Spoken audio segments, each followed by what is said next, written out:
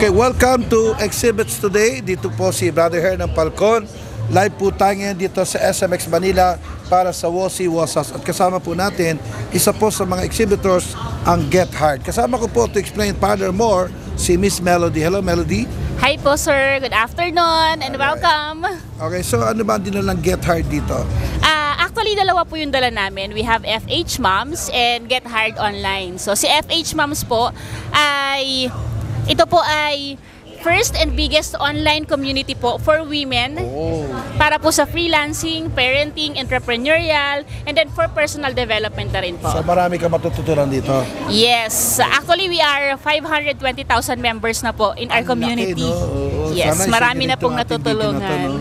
Yes. Okay, so ano yung isa naman itong Get Hard? Si Get Hard naman po, ito po ay isang job matching platform. Pero meron na siyang interview, automatic interview system na po sa loob. Okay. So pag nag-apply na po si applicant, automatic meron na pong interview agad.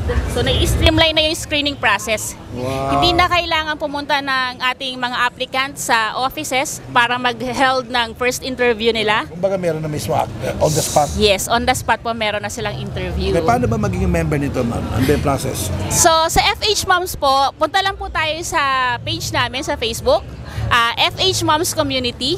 Like lang po natin and follow natin yung page, pati po sa Get Hard. Ah, Okay, so ma'am, imbitahan niyo sila na maging join dito sa Get Hard sa Adisay sa kumpanya niya. Ayan, kung meron po kayong time for today hanggang Saturday, August 10, nandito lang po kami sa SMX.